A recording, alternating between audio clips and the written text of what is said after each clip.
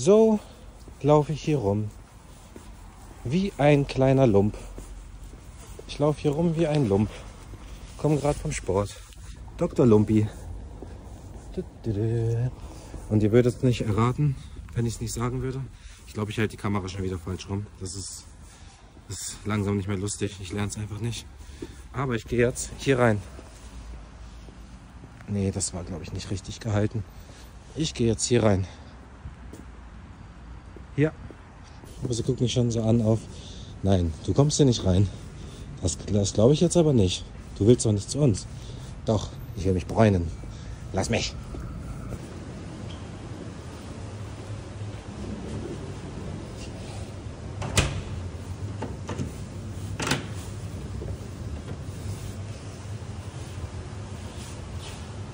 So. Herzlich willkommen zu einem neuen. I got black, I got white, what you want? Hop outside a ghost and hop up in a fan on. Wartet mal, ich stell mal das Handy ab.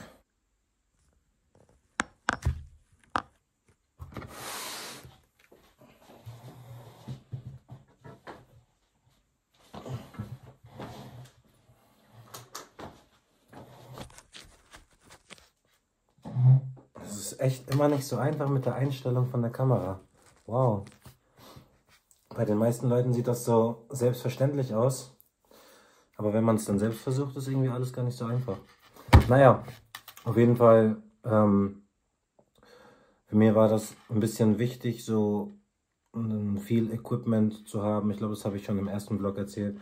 Und alles so ein bisschen professioneller zu machen und nicht nur mit dem Handy zu filmen und so weiter.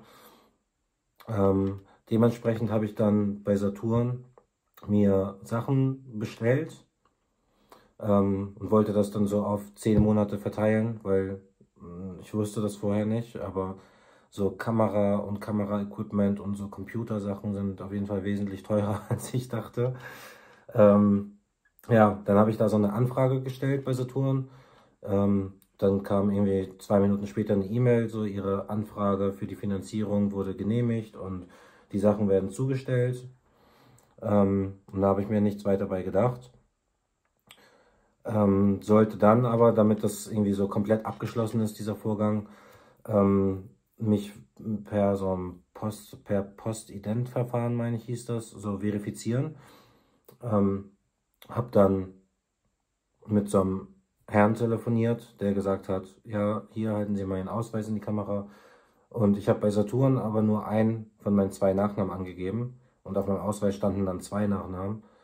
Und er war dann so, ja, ähm, Ihr zweiter Nachname, der steht hier bei Saturn nicht. Und ich habe gesagt, ja, hier auf dem Ausweis, können Sie sehen, so heiße ich. Und der Rest stimmt überein. Und da meinte er, ja, tut mir leid, das muss ich dann leider ablehnen, weil der Nachname nicht hundertprozentig übereinstimmt.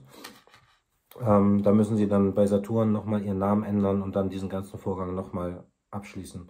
Da war ich schon so ein bisschen angepisst, weil ich musste halt die Sachen wieder alle neu in den Warenkorb tun ähm, weil der irgendwie meine letzte Bestellung da nicht mehr, also hat, er, hat er einfach nicht gehabt.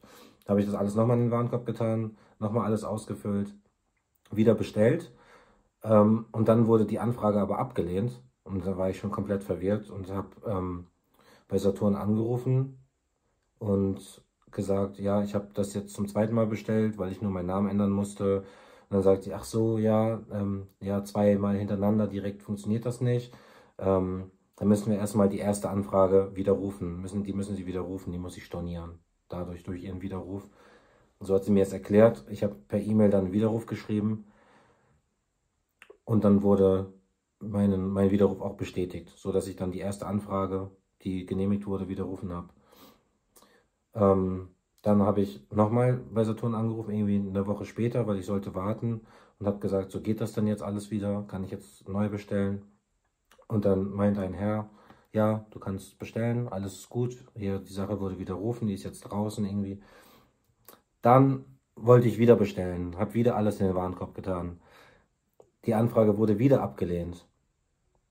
Ähm, dann habe ich bei Saturn angerufen und eine Dame hat mir gesagt, sie weiß überhaupt nicht, woran es liegt. Ähm, das ist alles ein bisschen komisch, aber sie gibt es weiter. Ich habe das dann per E-Mail eingereicht.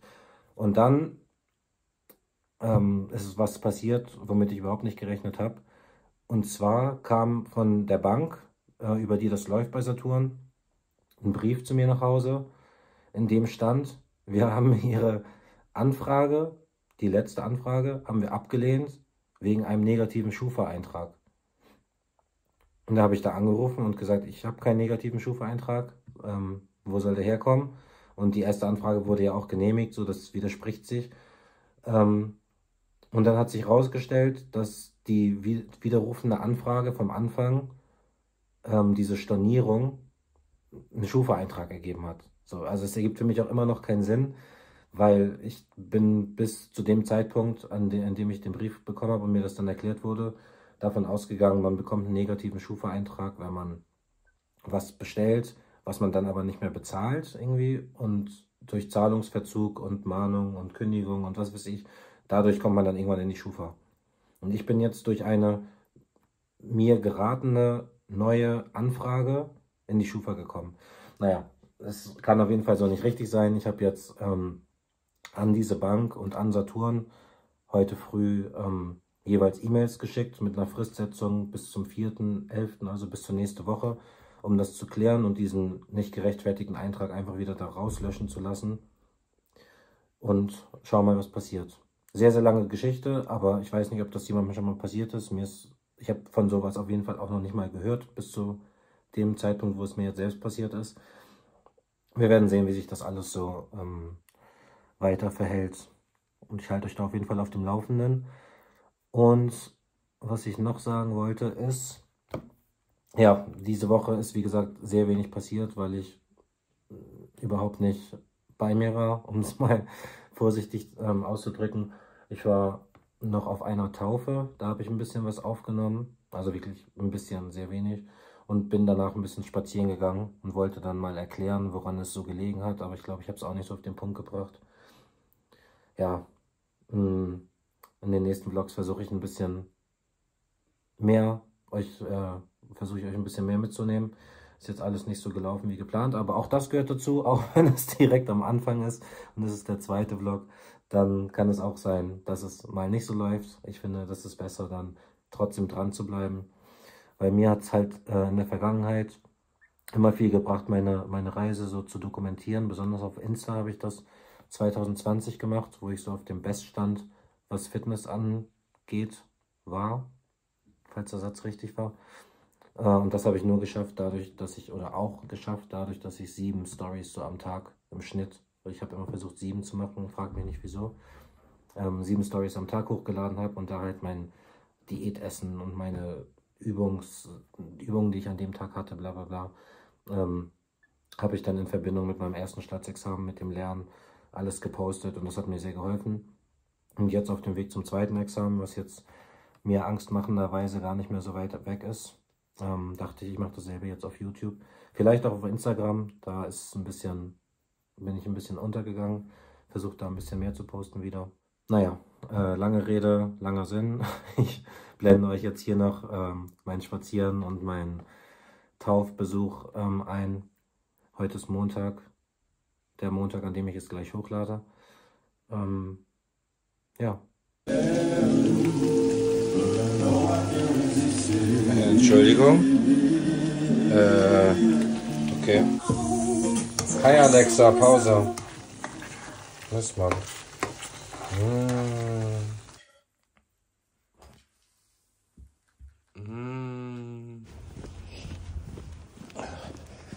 Um 12 Uhr beginnt die Taufe und es ist zwei nach. Rainer. Wir haben Parkplatz gesucht. Das ist ein gutes Zeichen, glaube ich, dass die Kirchenglocken noch läuten. Und da sind wir.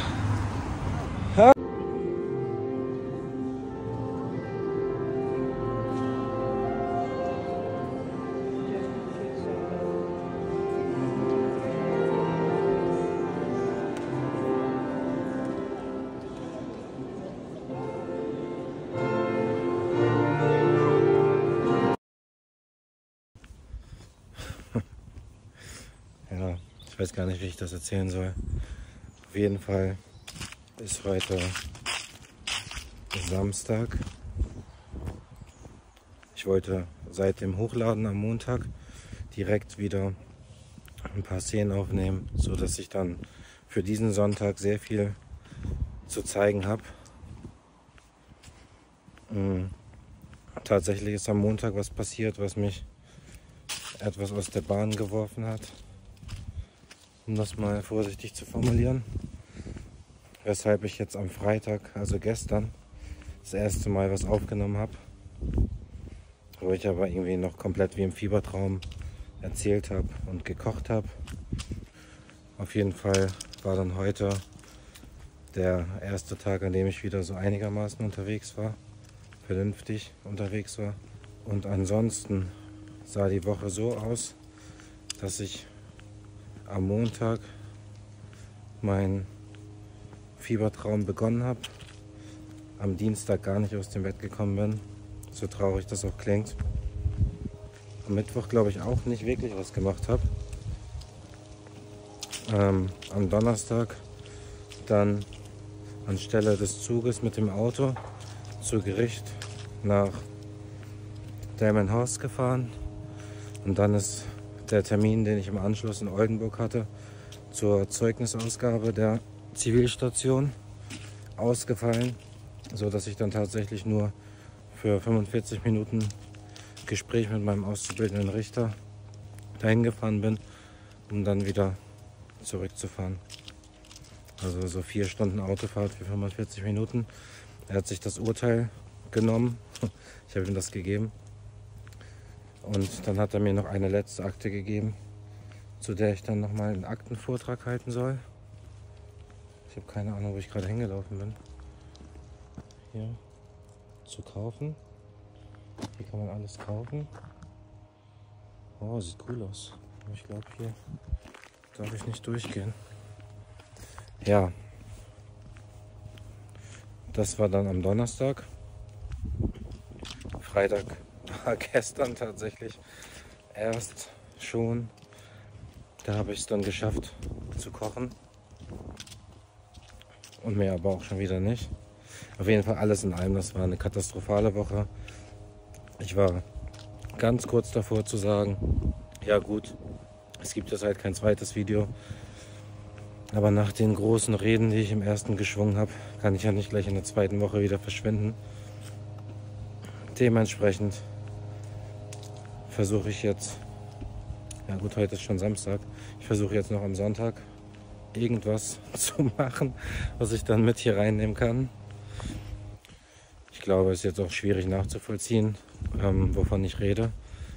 Aber vielleicht errät es ja jemand, was ich am Montag, was am Montag passiert sein könnte, dass ich jetzt mich am Samstag immer noch davon belastet fühle.